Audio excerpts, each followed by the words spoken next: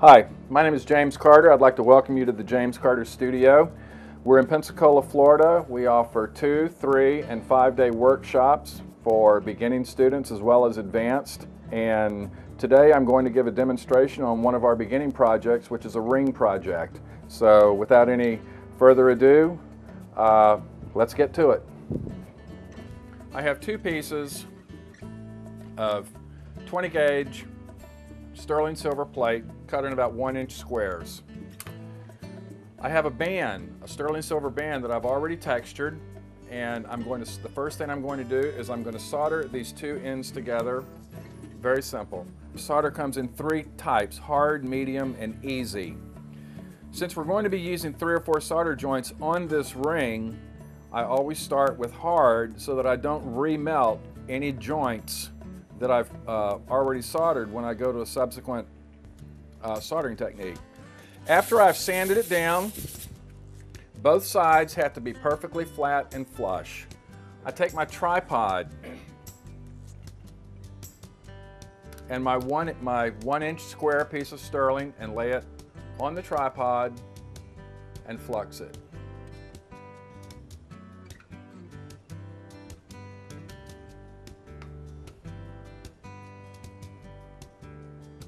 Once again, I flux the ring and lay it right on top. Why do you flux all the pieces, James? Flux acts as a, it keeps oxygen from getting to where the solder joint's going to run. If you don't use flux, oxygen will be there and solder will not flow if there's any, if there's uh, any kind of oxygen where the joint wants to be. How do you know when you're done soldering? Thank you. Uh, when you see it flow, you'll see a really nice bright line just zip around. Can you overdo it? Uh, I've seen some people overdo it because once it flows, they just want to keep the torch on it. That's it. That's all you need. It's done. What do you mean by over soldering? Then you get a, a clunk of a big pile of metal, molten metal. Oh. It's called it's called nugget jewelry. Can a beginning student make a ring like that? Absolutely. This is a beginning project. How long will it take? This is a three-day course because sometimes we, it includes setting a gemstone on it, doing some riveting, uh, doing some piercing on it. It goes into different variations, but some students can do it in two days. Some students will make two rings in three days. Uh, it's you can it's, you work at your own speed, but you will finish this ring in the three-day time allotted. I think it's very important that students finish a piece of jewelry and take it home with them. If you uh, take a workshop, we supply all the tools here at the school, uh, unless of course you have your own tools, which is always great.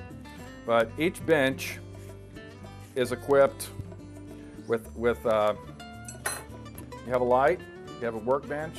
Every bench has its own little torch. Every bench has its own Foredom handpiece, so you don't have to wait in line to go do a, do a process. I've taken the ring and I've put plates all the way around it and I've oxidized with uh, liver of sulfur and I've cleaned it up with a brass brush. I haven't touched anything with a polisher. I haven't, it's all been done right here, hand polished. The inside of the ring will be cleaned up a little bit more. That's, that's the variation of this ring. There's so many things you can do. You could take the same ring and put rivets in it and solder them from the inside and have dots all the, all the way around it. Another variation is you can take that same textured ring and, and solder chips, squares, triangles, whatever size you want, solder those onto the surface of it. And a third variation is you might want to just do a silver on silver rivet like this, or you can have that as the back, turn it around, and you can mount a gemstone on the front of it. So the basic band is just your departure point to a, a whole a whole lot of different directions you can go with this project.